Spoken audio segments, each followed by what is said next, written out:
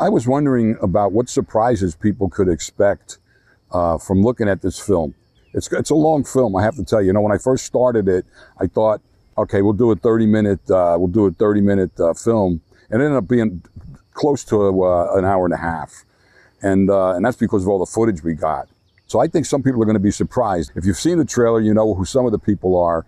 But if you haven't seen the trailer yet, you know, some of the people would be like, uh, you know, Jordan Belfort, you know, a great guy, I have to tell you. You know, I know he was uh, misbehaved himself when he was younger and all those things, but he's really a good guy. And uh, he's got some things to say.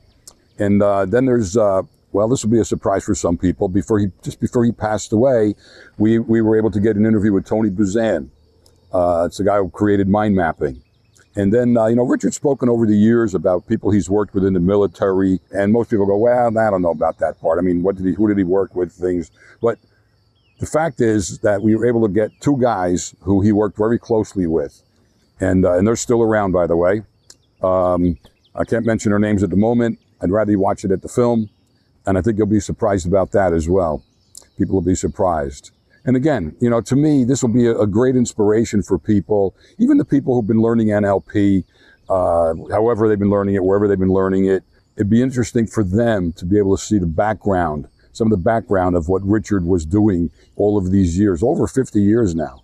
So, uh, so I'm excited to get this launched out there now. And it'll be pretty soon, by the way.